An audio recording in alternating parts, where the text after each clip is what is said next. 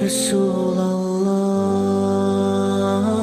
और ये वतन चूँकि हमारा मुल्क है और हमारे आबा अजदाद ने बड़ी कुर्बानियाँ दे करके इसको सींचा है और बड़ी कुर्बानियों के बाद इस मुल्क को आज़ादी दिलाई है। बल्कि मैं यहाँ तक कहूँगा, अल्लाह के कसम कि अगर हमारे अकाबिर इस मुल्क को आज़ाद करने का बेड़ा ना उठाते, हमारे उलमा अगर इसको जो है आज़ाद कराने के अंदर कुर्बानियाँ ना देते तो वल्लाह ये मुल्क कभी आज़ाद नहीं होता। लोग आमतौर से ये समझते हैं कि अट्ठारह के बाद जंग आज़ादी की जो लड़ाइयाँ हुई है, वो शुरू हुई हैं। हालाँकि ऐसा नहीं है, बल्कि उससे पचासों साल पहले इस मुल्क को अंग्रेज़ों के चंगल से छुड़ाने की जद्दोजहद और कोशिशें शुरू हो गई थी और उससे पहले सिराजुद्दौला के साथ लड़ाई हुई है और दूसरे उलमा हैं, उनके साथ लड़ाई हुई और बाकायदा उन्होंने जंगें की हैं ताकि इस मुल्क को अंग्रेज़ों के चंगल से आज़ाद कराया जाए। और फिर बाकायदा जब हमारे गैर मुस्लिम भाई भी इस लड़ाई के अंदर से जो है शरीक हुए हैं तो उसकी शुरुआत हुई है अट्ठारह से।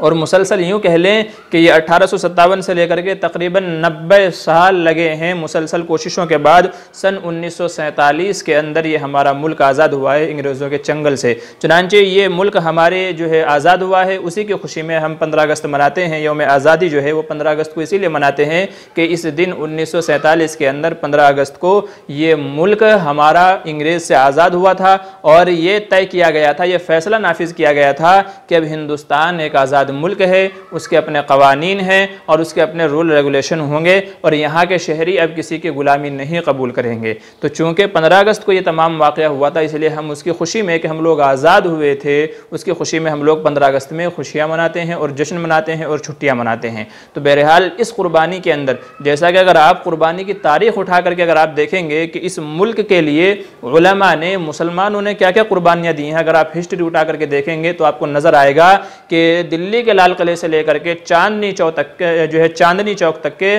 चौवन हज़ार की लाशें पेड़ों के ऊपर लटकी हुई थी और कहते हैं कि दिल्ली के लाल किले से लेकर के चांदनी चौक तक के कोई दरख्त ऐसा नहीं था जिस पर किसी आलिम की लाश लटकी हुई नहीं थी। ये सिर्फ़ उलमा की कुर्बानियाँ थी। चौवन हज़ार उलमा ने अपने खून से इसको सींचा है, सिर्फ़ इसलिए ताकि हमारी आगे आने वाली नस्लें आज़ादी की सांस ले सकें। इसलिए कि आज़ादी बहुत बड़ी नेमत है, बहुत बड़ी नेमत है। आज़ादी इस कदर बड़ी नेमत है कि अल्लाह तबारक व ताली ने एक ग़ुलाम और एक आज़ाद आदमी के दरमियान फ़र्क को बताने के लिए कुरान करीम में एक मिसाल को बयान फरमाया, ज़रब अल्लाह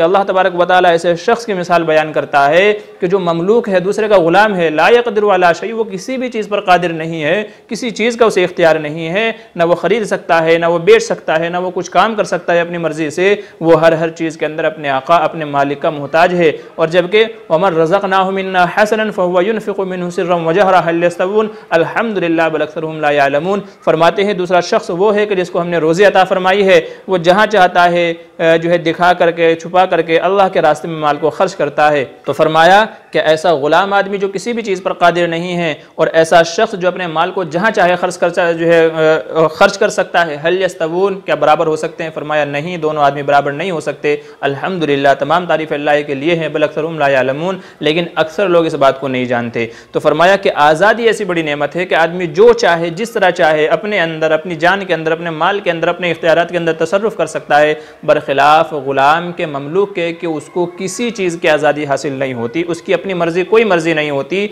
बल्कि आका की जो मर्ज़ी होती है, मालिक की मर्ज़ी होती है, वही उसकी मर्ज़ी होती है। तो चूँकि ग़ुलामी ये एक तरह से ज़िल्लत है और शरीत इस्लाम ने इसको पसंद नहीं किया है, बल्कि यूँ कह लें कि इस्लाम के आने से पहले ग़ुलाम बांधियों का रिवाज था। लोग जो है, एक दूसरे को ग़ुलाम बना लिया करते थे और औरतों को भी बांदी बना लिया करते थे। और यूँ कह लें कि ग़ुलामों की, औरतों की लोगों की मंडियाँ लगा करती थी जिसमें इंसानों को बेचा जाता था। इस कदर बुरा माहौल था। इस्लाम आया, अल्लाह तबारक वाली ने लोगों के हाल पर रहम फरमाया। इस्लाम आया और इस्लाम ने इस तरीके की मजम्मत की और इंसानों को ग़ुलामी से आज़ाद करने की तलकिन की और जो है ग़ुलाम के आज़ाद करने पर वो फजरत इरशाद फरमाई जिसकी कोई इंतहा नहीं है। चुनानचे कई सारे कफ़ारात ऐसे हैं जैसे रोज़े का कफ़ारा है, कसम खाने का कफ़ारा है और जो है दूसरे कफ़ारा जात ऐसे हैं, जिहार का कफ़ारा है। तो फरमाया गया कि इनको आज़ाद कर करने में, इनका कफ़ारा अदा करने में ग़ुलाम को आज़ाद करना चाहिए। अगर किसी आदमी के अंदर ग़ुलाम को आज़ाद करने की हिम्मत है फ़तः हरीर रकबा तो उसको चाहिए कि वो ग़ुलाम आज़ाद करे। अगर ग़ुलाम आज़ाद करने की उसके अंदर इस्तात नहीं है तो फिर दूसरी जो सूरतें बताई गई हैं तो उनके ऊपर अमल कर सकता है। तो शरीयत इस्लामी यानी तो बाकायदा कसम का कफ़ारा है, जिहार का कफ़ारा है, रोज़ा तोड़ने का कफ़ारा है। इन कफ़ारात के अंदर ग़ुलामों को आज़ाद करने की बात कही है कि ग़ुलामों को आज़ाद करो। और नबी करीम अलैहि वसल्लम के अमल से बात साबित है चुनानचे हज़रत अबू बकर सिद्दीक़ रज़ी अल्लाह हज़रत बिलाल हबशी को आपने आज़ाद फरमाया। हजूर अक्रम सल्लल्लाहु अलैहि वसल्लम की खिदमत में जो गुलाम आते थे, आप उनको आज़ाद फरमा दिया करते थे और आपने आज़ाद फरमाने की फजलत बयान फरमाई कि जो बंदा गुलाम को आज़ाद करेगा, अल्लाह तबारक वाली क़यामत के दिन जहन्नम से उसकी गर्दन को आज़ाद फरमा देगा। तो इस्लाम आया और इस्लाम ने ग़ुलामी की मजम्मत की और लोगों को आज़ाद कराने का जो है हुक्म दिया और उसकी तलकिन की और उसकी तरगीब और फजलत बयान फरमाई। ऐसे ही हज़रत उमर रज़ी अल्लाह का मकुला है, फरमाते हैं कि तुमने लोगों को कब से ग़ुलाम बनाना शुरू कर दिया, जबकि उनकी माओ ने उनको आज़ाद पैदा किया था। ऐसे ही अरबी के अंदर एक मकुला है, ला तकुन अब्द का गैरन, के गैर का तू ममलूक मत बन, गैर का ग़ुलाम मत बन, इसलिए कि अल्लाह ने तुझे आज़ाद पैदा किया है। तू तो आज़ाद पैदा हुआ था तो फिर तू दूसरे का ग़ुलाम क्यों बन रहा है? तो इस्लाम आया, इस्लाम ने आकर के लोगों को ग़ुलामी से आज़ादी दिलाई और इस नमत की जो है कदरदानी लोगों को सिखलाई कि आज़ादी कितनी बड़ी नमत है और ग़ुलामी किस कदर ज़िल्लत की बात है। तो इस्लाम आया, इस्लाम ने आकर के लोगों को आज़ादी की शम्मा उनके दिलों में जलाई और यूँ कह लें कि ये इस्लाम ही की बरकत है कि आज दुनिया के अंदर वो जो ग़ुलामी का रिवाज चला आ रहा था, पूरी दुनिया के अंदर आज उस तरीक़े का रिवाज कहीं नहीं है। ये अलग बात है कि लोग जहनी ग़ुलामी के अंदर मुबतला हो गए हैं।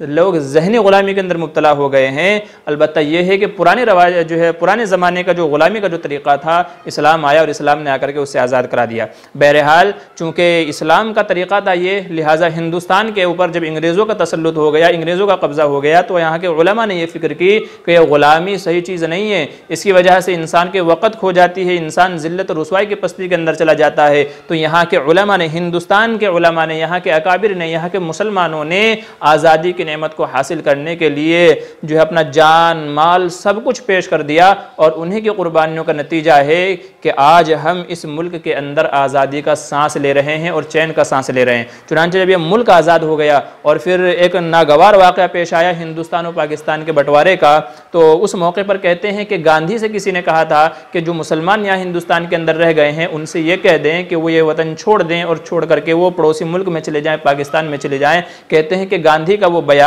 जो है रेडियो के ऊपर आया था और उसने ये कहा था कि जिन लोगों का इस कुर्बानी के अंदर, इस आज़ादी दिलाने के अंदर हिस्सा है, मैं किस ज़ुबान से कह दूँ कि ये वतन छोड़ करके चले जाएँ, जबकि अगर ये लोग नहीं होते तो शायद हमें आज़ादी नहीं मिलती। अगर ये मुसलमान नहीं होते तो शायद हमें आज़ादी नहीं मिलती तो मैं किस ज़ुबान से इनको कह दूँ कि वो ये वतन छोड़ करके चले जाएँ? लिहाजा मैं नहीं कह सकता।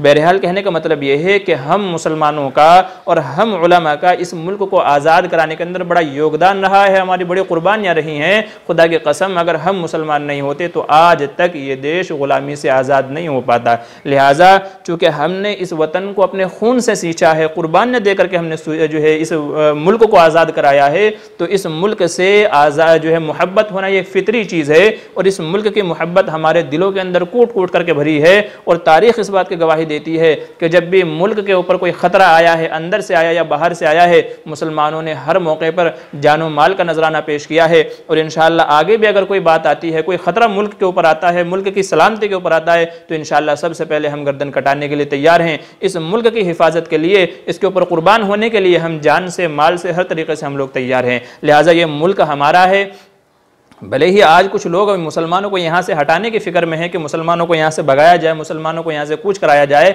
लेकिन इन हम जाने वाले नहीं हैं। हमारा ये मुल्क है और इन हमारी लहद, हमारी कब्र यहीं रहेगी और हम भी जो है मर करके इसी मिट्टी के अंदर दफन हो जाएँगे। हम यहीं से पैदा हुए तो इन मर करके हम लोग यहीं दफन हो जाएँगे। तो ये मुल्क हमारा है और हमने इसके अंदर हक़ के साथ रहना है, चूँकि यहाँ हमारा हक़ बनता है। हमने कुर्बानियाँ दे करके इस मुल्क को आज़ाद कराया है। ये हमारा मुल्क है। हम हक़ के साथ इन ता क़यामत यहाँ रहेंगे और हम यहाँ से कहीं जाने वाले नहीं हैं। इन जब भी ज़रूरत पड़ेगी तो इन सबसे पहले हम यहाँ गर्दन कटाने के लिए तैयार हैं। कहते हैं, जब वक्त को खूँ की ज़रूरत पड़ी, जब मुल्क को खूँ की ज़रूरत पड़ी, सबसे पहले हमारी ही गर्दन कटी। फिर भी कहते हैं हमसे, ये अहले वतन, ये वतन है हमारा, तुम्हारा नहीं। आज आज अगरचे हमारी कुर्बानियों का इनकार किया जाता है। आज अगरचे हमें देशद्रोही बताया जाता है, मुल्क का गद्दार हमें बताया जाता है और हमारी कुर्बानियों को तारीख से मिटा दिया गया है लेकिन इसके बावजूद ये याद रखने की बात है और जो सही लोग हैं वो इस बात को एग्री करेंगे, वो एक्सेप्ट करेंगे कि इन अगर हम नहीं होते तो ये मुल्क भी आज़ाद नहीं होता।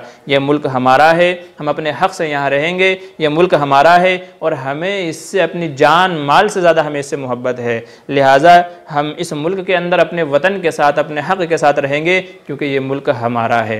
दुआ फरमाए कि अल्लाह तबारक वाली कहने सुनने ज़्यादा अमल के तोफ़ी नसीब फरमाए। आमीन सुम आमीन। और आज वतन के अंदर, मुल्क के अंदर जो ऐसी फ़िज़ा कायम हो गई है कि आपस में दुश्मन या नफ़रतें फैल गई हैं, कुछ लोगों की वजह से दुआ फरमाए कि अल्लाह तबारक वाली ऐसे शितीन ऐसे शयातीन और शरारती और फ़ितीन लोगों से तमाम मुल्क वालों की हिफाजत फरमाए और आपस में इस हिंदुस्तानी कल्चर के अंदर जो भी लोग रहते हैं, जिस भी मज़हब के लोग रहते हैं, सब मज़हब वालों में, सब मसलक वालों में आपस में प्यार और मोहब्बत पैदा फरमाए, एक दूसरे के ताल्लुक को बेहतर फरमाए, आपस में जो नफ़रतें फैल गई हैं, अल्लाह तबारक वाली सबको दूर फरमाए, आमीन सुम आमीन।